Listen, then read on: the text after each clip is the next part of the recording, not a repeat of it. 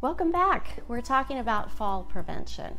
According to the CDC, the Center for Disease Control, one out of every five falls causes serious injuries, and this could be fractures, this could be head injuries.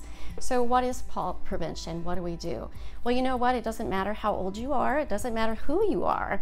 Any one of us can fall. However, as we grow older, we are more susceptible to falling. Some of the factors that contribute to this is our vision changes. We also lose muscle strength and our reaction time slows down and our reflexes weaken.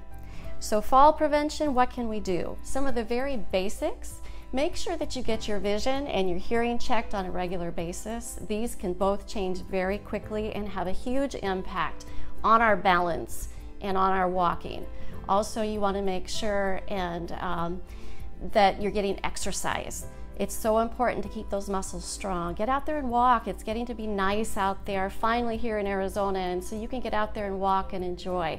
Um, strengthening the core muscles, your abdominal and your back muscles, so that you're, um, you are make sure and have a steady gait, a steady balance.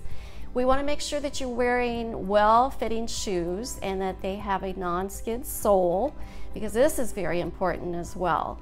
And if you're a person that likes to wear socks around the house, and especially if you have laminate flooring or tile or wood, make sure you're wearing the socks that have the little rubber dots on the bottom. And you can purchase those at a drugstore, Target, Walmart, just about anywhere, but it's so very important. Make sure you're aware of your surroundings. There's three little words, off the floor. Memorize those words and think about it as you're walking around. Make sure that if you take your shoes off, you don't just kick them in the middle of the room because you or someone else could so easily trip on them. Make sure that you put your clothes away, that they're not in piles. Towels in the bathroom are another one. And you know what? Even our pets, they're always around our feet. Make sure and be aware of your surroundings. So we want to make sure that you're safe in your home and the next time we're going to talk about what we can do to be safe in our bathrooms. All right, take care and we'll see you soon.